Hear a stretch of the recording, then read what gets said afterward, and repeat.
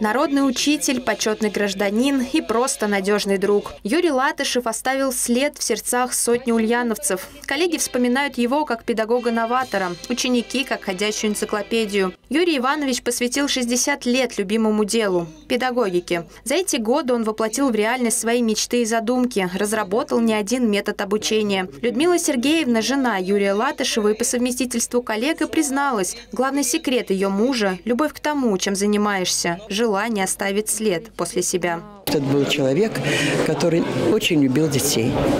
Это человек, которому э, было просто неприемлемо повышение голоса даже на ребенка.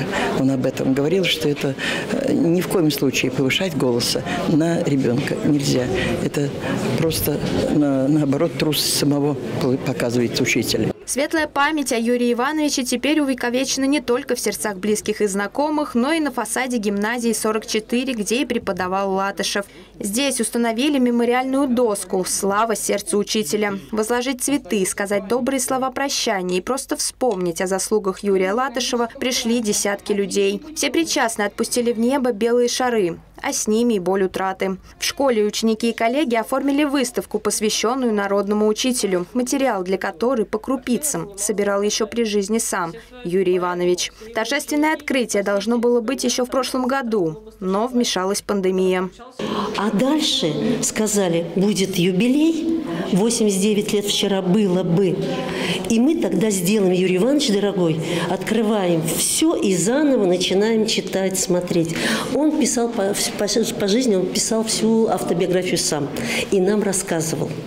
И вот хотел бы рассказать дальше, но сегодня рассказали дети. Ученики подготовили целую программу, посвященную Юрию Латышеву. Любимую песню учителя сегодня пел не он сам, а люди, которые его уважают и любят. Свечку, как знак вечной памяти, приехал поставить губернатор Сергей Морозов, а также глава города и депутаты. Сами дети отмечают, что эта стена важна не только для всей школы, но и для каждого по отдельности, кто был знаком с Юрием Ивановичем. Когда он к нам приходил на открытые уроки, даже когда он задавал просто один вопрос и заставлял нас этим самым размышлять и сам давал ответ, было безумно интересно его слушать, открытые уроки, которые он приводил.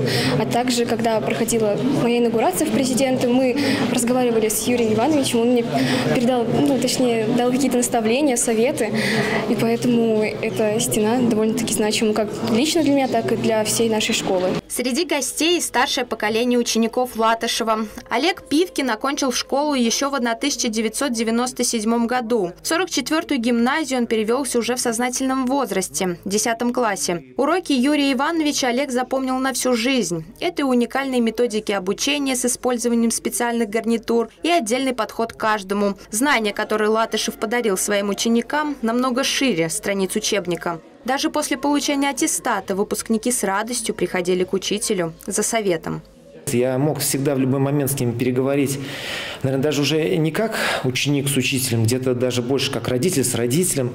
Вот. Но он давал такую колоссальную, не только, скажем, э, не только как бы знание, но и подпитку такую эмоциональную. То есть вот после того, как с ним пообщаешься, как будто по-другому открывался взгляд на вещи, и хотелось опять идти вперед, э, творить, и понимал, когда вот есть такие люди, как Юрий Иванович, надо всегда вот двигаться в правильном направлении. То есть вот брал с него пример просто-напросто.